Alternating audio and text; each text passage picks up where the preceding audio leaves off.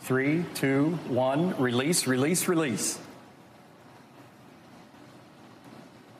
Ignition. Good control. There's Mach 1. The pilots have started trimming for that turn towards space. Trim is now set. There is max Q. That's the point of maximum pressure exerted on the vehicle by the atmosphere. Those on board are experiencing about 3 Gs right now and traveling over a thousand miles an hour. That's incredible. I can imagine they're having quite a great time. We're at Mach 2. We're in the vertical, headed towards space. This is the part where they're seeing Earth move away and seeing space come into view and seeing that they're going to space and just, it is an incredible feeling.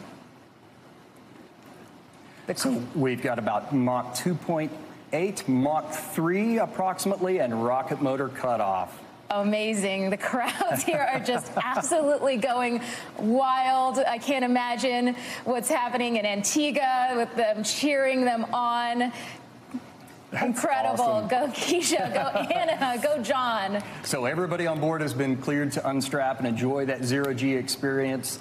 The pilots have unlocked the feather. That's the preparation so that they can raise the feather here momentarily. They're engaging the RCS as well. The feather is now starting to move on its way up.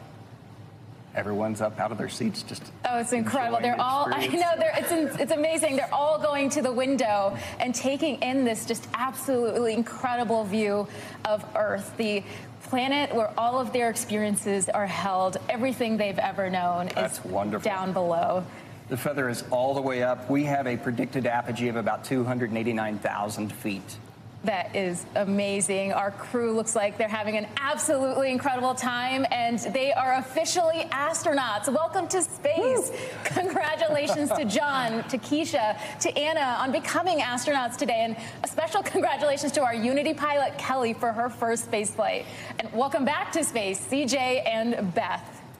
And the vehicle is oriented in that that backflip or that upside down maneuver from our perspective, uh, and you can see them just enjoying that view of the earth below. Uh, man, it's just incredible. I, I can see that they just can't take their eyes away. And it's, you know, it's hard for us to describe. We can obviously see they're having just an incredible time in space, taking in the views, but it's an experience.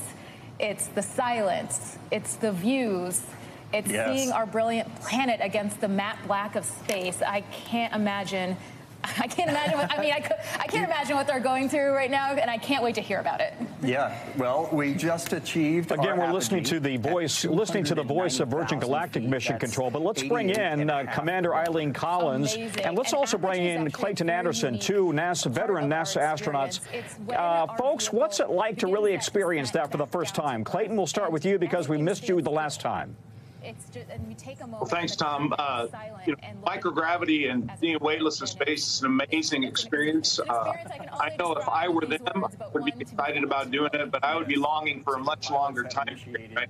They're going to get a taste of it. Once you have that taste, you time in microgravity that they're going to have the opportunity to do. So, uh, kudos to them. Congratulations to Virgin Galactic.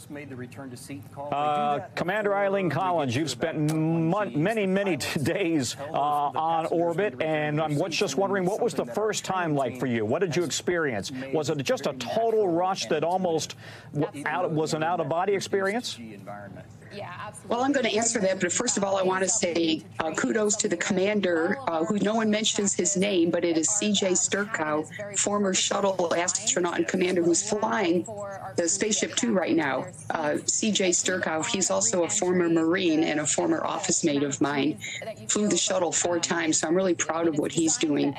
But the um, my first experience in space was very clumsy. I unstrapped from my seat, I got out, and I immediately hit the other seat and then I hit a panel of switches, and then I hit the ceiling, I hit the floor. It, it, you need to get used. It's like learning how to skateboard or learning how to roller skate for the first time. It's a it's a skill you need to you need to learn. Uh, you mentioned the commander is uh, C.J. Sturckow, and of course the pilot is Kelly Latimer. So we do want to make sure we mention them as well. Uh, and then I'm just wondering. By the way, they're now back in their seats, and they're now going to begin the reentry process. Thanks for watching our YouTube channel. Follow today's top stories and breaking news by downloading the NBC News app.